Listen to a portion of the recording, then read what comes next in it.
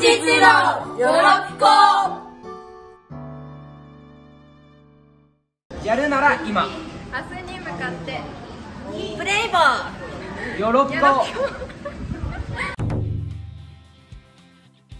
僕らあの近所の時、自チーム言われました。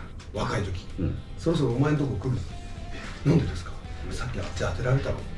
ええ僕に来るんですか？順番だもんねそうやって落とされるじゃないですか。パ・リーグ。そういうことね、はそういうことね、はい。味方にね、はい。ライバルの腰引けるわな。本当に来んのかな。っていうすごい。ね、俺が川口に言ったと一緒か。うん。そうです言っねてない。言ってないって。でもそうやってみたらだから、時代ってそうやってみんなだから明治大正昭和、うん。平成令和だよ。だから明治の人が大正やんか大正の人が昭和やんか、うん。で昭和の人たちが平成やん。で平成の人たちが今令和やんか、で今度生まれてくる令和の人たちがそうするとやっぱいつも思うんだけどさ最近の若い連中ってやっぱしっていうのはあかんなと思うよ、だってなんやこの若い連中いや俺たちが育ったよね、はいって。そうやろ、じゃあ俺たちは悪いってそう思うやん、そうそうですね。ただ今の子たちって逆にもうほら叱っちゃいけないとかさはすぐセクハラ何？パワハラ、うん。あるやん、逆に生きるのが大変じゃないかと思うんだけどいやそうだと思いますよ。だからよかったですね。吉彦さんこの時代じゃなだから今のこの時代だったらちゃんと高橋義彦ちゃんとそういう高橋確立されてちゃんと違う高橋義彦がちゃんと生まれてるんよ。いその説明を今してたんですよね。そう。まあそうなんですけど言い訳だけどね。でも吉子さんもなんかなんもう言い方悪いですけど自分の思ったままずっとやってましたよね。そうやね。いやすごいな。ただと思って。力を落ちてきた時がクビになったのはもう自分で覚悟したから分かってたから、もうもういいなと思ってたけどね。コーチ時代もそうなんですかね。俺がこう思ってんだからこの通りやそんなことはない。やっていくぞ。上からこうしてくれとか言われることあったんですか？ほとんどないね。そうでしょ。どういうことや。それってなんか俺に言いづらいのか。いやいや。袴田さんがですね大学の先輩、はい。袴田さんが常に吉彦さんを止めてたらしいです。袴田さんがいなかったらロッテは大変だったはずですといや。選手たち元の選手たちがみんな言ってます僕はあの時あのベイスターズの二軍のココーチだった。はいはいはいはいかっこよかったんですよ。吉子さんがこうねグラウンド入ってくる時。なあなんかこうあこんな感じで。はいはいはい違う来た来た来た来た。まあまあ僕こうしょっちゅう見てましたね。はい。あ吉子さんどんな動きするのかなとか。はい。反対のベンチから。はいはいはいロッテのあの裏は裏はね。裏のヒュー来た来た来た。来た。かっこよかったですよ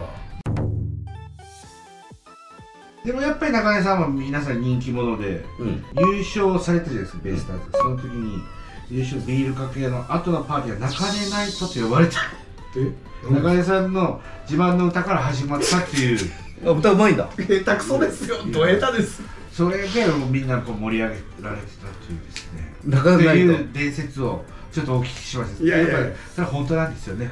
毎回あの「Can You Celebrate」と「ボヘミアン」を勝手に入れるんですよみんな。中根ナイトだそうです、はじゃあ皆さんでそれでは歌うはいいやいやいやいやいやちょっとちょっとやばい。ですでですねやっぱりこう中根さんも兄貴的存在でうん。あのやっぱりこう吉彦さんがジャイアンツにね選手たちに文句言いに行ったように、うん。実は中根さんも現れるらしいんです巨人巨人の親父に怒ってベンチに怒鳴り込んで行かれたっていうっていう話を。うわまあ腹立ちました。きついよね。あのコーチです。よあコー。チでそれも、うん。ベンチの前まで出てきて横浜スタジアム。に、うん。はいはい前まで来て僕が打席立つたんびになんかわーわーわーわー言うんってたんですよ、で僕がアウトになったり下がるとその人も下がっていくでまた次僕立つともっとわー。へえ何言ってるか聞こえないじゃないですか、はいはいはいはい。何を騒いでんのかなと思って。で試合終わった瞬間にうんダッシュうん。裏いける裏裏からね。ガーッと走って、さっきあのギャーギャー騒いでた人ちょっと呼んで、な何を言ってたの、っていう話で待ってたら清とか元木らが「うん。なんだ中根さん来たぞ。何？何何何？何?」みたいなこうやって覗いてて。ほんで待待ってたらん。原さんが来て「中根悪かったな」止められたというですね。え誰？コーチ誰ですか？いや僕もよくわかんないです杉杉山さん？え？キャッチャー。の杉山。いや上上僕より上ですよ。あの杉山っていたじゃないですか、はいはい。し下の杉山じゃなくて。もうよくわかんないです。なんか僕まキャッチャーの杉なんかいたね。多分言えって言われたんじゃないですか。僕ジまあ。ャイアンツ戦結構その時ちょうどなんか打ってたんですよ。うん。ななんかあそう。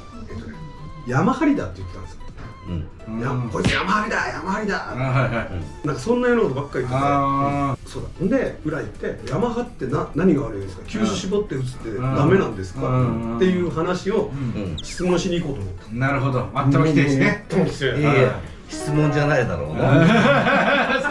違うよな。質お前やいう質問っていう文句ですよね。思うんだよね。いやなんかかっこ悪いじゃないですかでも巨人は多かったよあそうなんですか。うん。俺ブチ切れたもん。俺ブチ切れてサード側のベンチへ打ち込んだことある。であの石井さんありますね。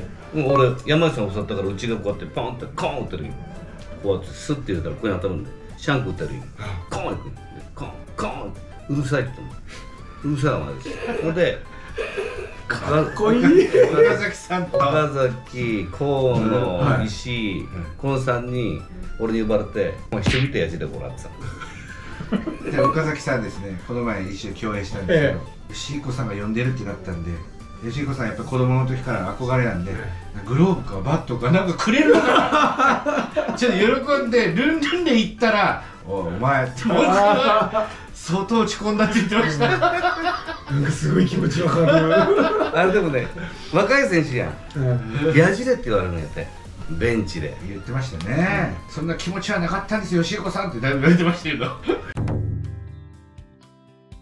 で昔はやじちょっときつかったやろ。そのベンチベンチの中でもね。あただ大英と王さんと大英になって阪神と大英の選手は全員心折れて帰ってたね。えなんですか？大阪のやじで僕も折れましたもうほんまほんま心折れて帰ってくるみんな。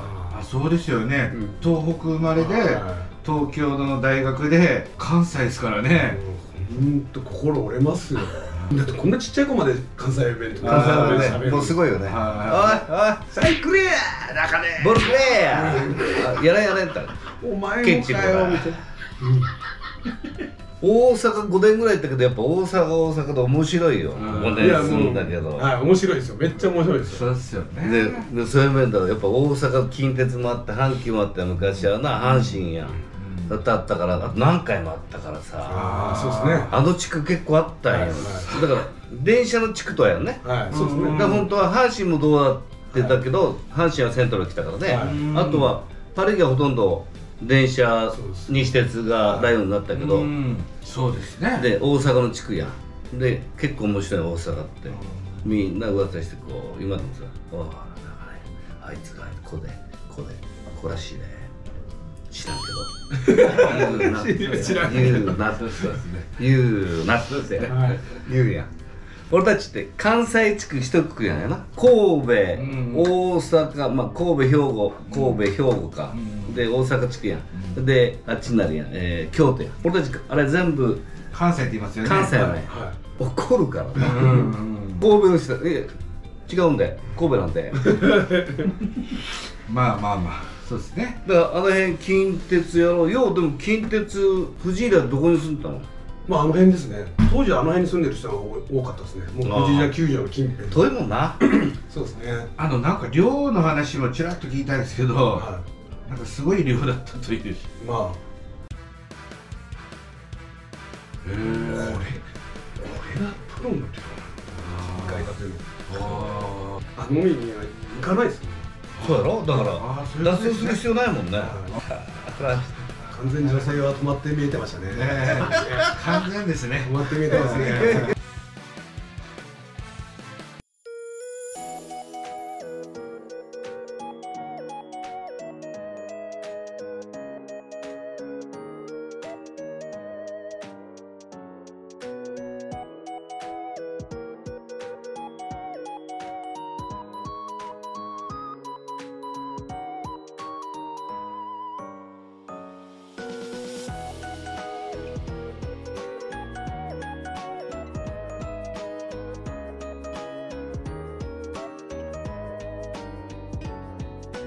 ご視聴ありがとうございました、えーチャンネル登録といいねとコメントをよろしくお願いします。それではゲームセット。次回もよろぴこ。